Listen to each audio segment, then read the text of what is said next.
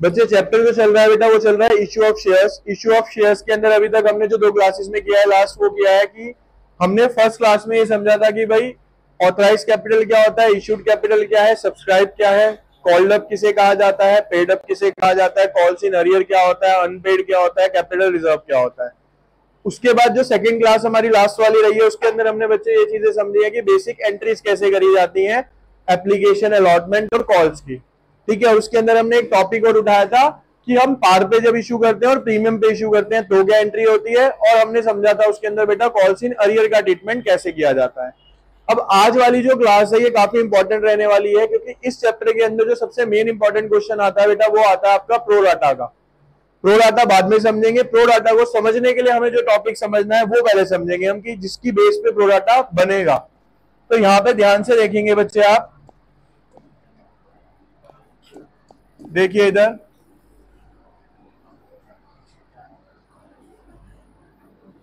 देखो बच्चे इधर।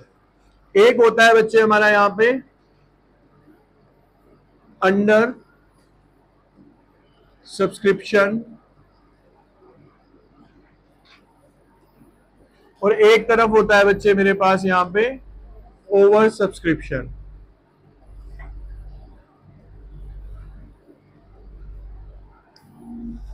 पहले मैं बात करता हूँ यहाँ पे अंडर सब्सक्रिप्शन की। अंडर सब्सक्रिप्शन चीज़ क्या है? किसे क्या बोला जाता है? किसके लिए बनता है ये? देखो बच्चे। A company issued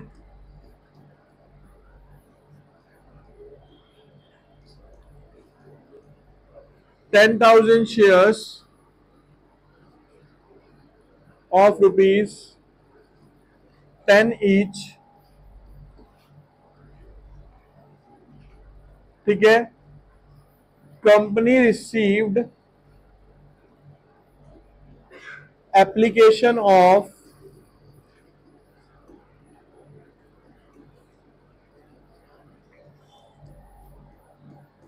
eight thousand shares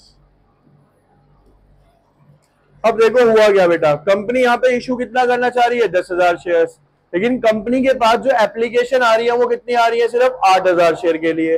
तो इसको बोला जाएगा क्या? अंडर सब्सक्रिप्शन क्या बोला जाएगा? अंडर सब्सक्रिप्शन यानी कंपनी दस हज़ार शेयर सब्सक्राइब करवाना चाह रही है, लेकिन उसके बाद सब्सक्रिप्शन कितने के लिए आ रहा है? तो ऐसे वाले क्वेश्चन के अंदर हमें कोई सोचने की दिक्कत नहीं है। सिंपल इसमें क्या होता है बेटा? कि हमें सारी की सारी जो ट्रांजेक्शन है, वो हमें करनी है किस शेयर से? आठ हज़ार शेयर यानी दस हज़ार का इसमें कोई भी रोल नहीं है। सब ट्रांजेक्शन किससे करेंगे हम? आठ हज़ार वाले से करेंगे। ठीक है? अब जब हम बात करते हैं बेटा यहाँ पे किसकी ओवर सब्सक्रिप्शन की। तो ओवर सब्सक्रिप्शन क्या है बेटा? कहता है company issued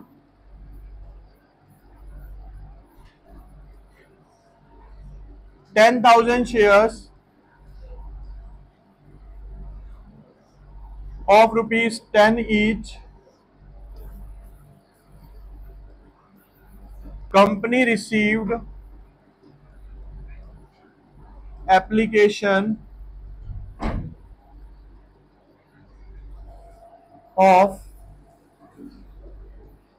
12,000 shares. अब हुआ क्या बच्चे यहाँ पे? कि कंपनी इशू कितना करना चाह रही है? दस हज़ार। लेकिन उसके पास एप्लीकेशन कितनी आ गई? बारह हज़ार। तो बेटा इसके अंदर अभी हम नॉर्मल कंडीशन समझेंगे सिर्फ़। नॉर्मल कंडीशन क्या होगी? कि भाई कंपनी दस हज़ार शेयर देना चाह रही थी, उसके पास एप्लीकेशन कितनी आ गई? बारह हज़ार। तो उस कंडीशन में कंपनी दस हज़ार वालों को दस हज़ार दे देगी, जो दो हज़ार एक्स्ट्रा एप्लीकेशन आई है, उनका पैसा कंपनी को क्या करना पड़ेगा बेटा? वापस करना पड़ेगा। क्या करना पड़ेगा? अब हम मान के चलते हैं, मान लो ये जो दस रुपए आए थे, इसमें से एप्लीकेशन पे आए थे आपके तीन रुपए अलॉटमेंट पे आए थे बच्चे आपके चार रुपए, और फाइनल कॉल पे आए थे आपके यहाँ पे अगेन तीन रुपए। ठीक है बच्चे? तो ये आपकी कुछ सिचुएशन बनी हुई है यहाँ पे। अब ध्यान से सुनना, इसमें एंट्रीज होंगी कैसे? देखिए इधर।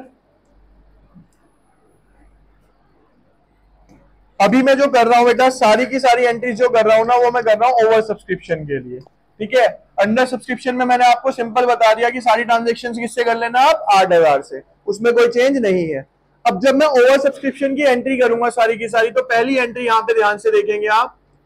बैंक अकाउंट डेबिटेड भाई, मेरे पास एप्लीकेशन कितनी आई है? बारह हज़ार। एप्लीकेशन पे अमाउंट कितना आना है? तीन रुपए। तो बारह दिया होगा यहाँ पे छत्तीस हज़ार। तो थर्टी सिक्स थाउज़ेंड रुपीज़ मेरे को रिसीव हुए। टू शेयर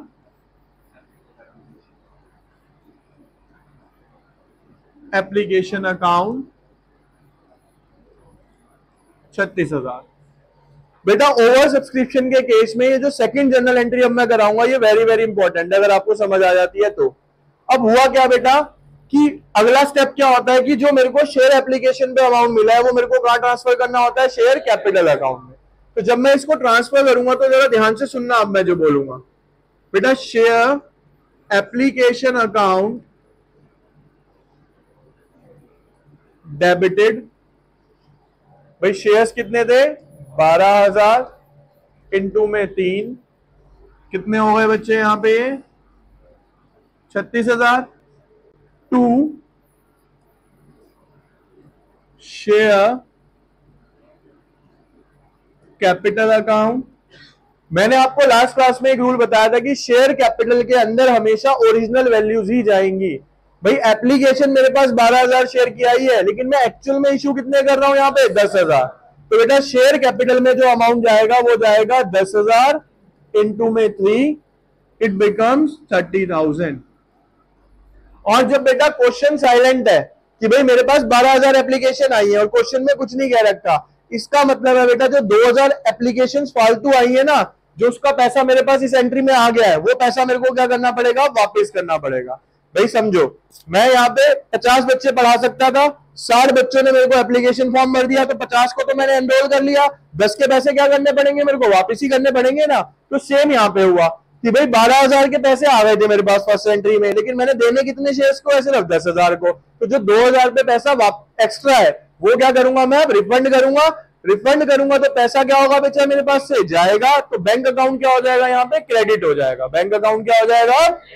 तो यहाँ पे जो एंट्री पास करूँगा मैं क्या करूँगा बेटा? टू बैंक अकाउंट कितने शेयर्स पे? 2000 हज़ार इंटू तीन।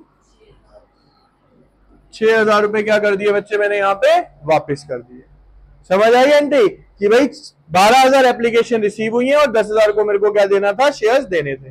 एक कंडीशन हो गई क्या? ध्यान से समझना अब इसको। केस फ़र्स्ट ये वाला। When full amount रिफंडेड भाई, पहली सिचुएशन क्या हो गई कि मैंने सारा का सारा अमाउंट क्या कर दिया? रिफंड कर दिया। ठीक है? अब अगली एंट्री क्या होगी? ये समझो बच्चे यहाँ पे। केस सेकंड ले रहा हूँ मैं आपका यहाँ पे। क्वेश्चन सेम ही है ऊपर वाला। केस सेकंड क्या है? When 50% amount is refunded and remaining adjust towards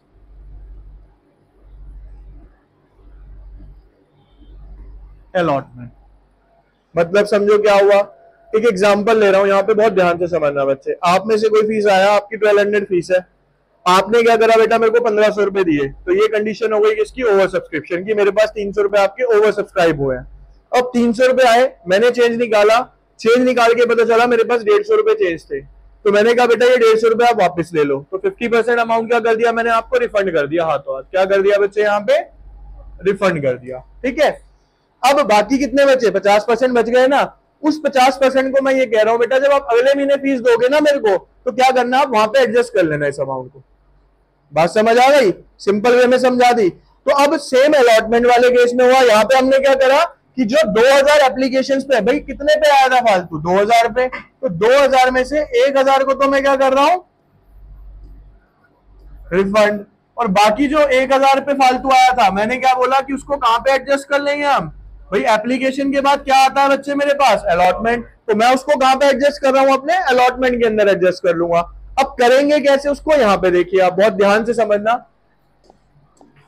कलर दूसरा यूज़ कर लेते हैं ताकि आपको और ज़्यादा क्लियरेंस रहेगी। अब केस सेकंड देखो बच्चे यहाँ पे फ़र्स्ट एंट्री सेम रहेगी केस सेकंड के अंदर। क्या?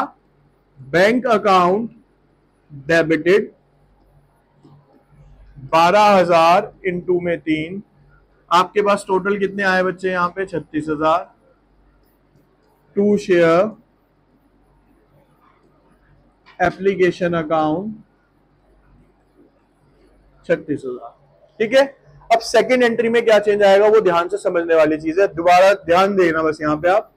Share application account debited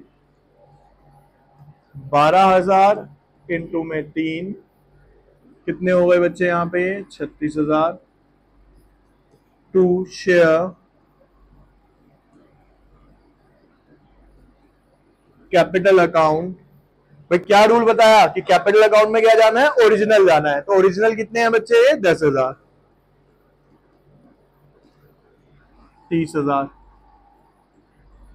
number of shares देखते चले जाओ। बारह में से दस एडजस्ट हो गए ना यहाँ पे। कितने बच गए? दो। कितने बचे दो हज़ार। दो हज़ार में से फिफ्टी परसेंट को क्या करना है मेरे को? वापस करना है। तो जब वापस करूँगा तो टू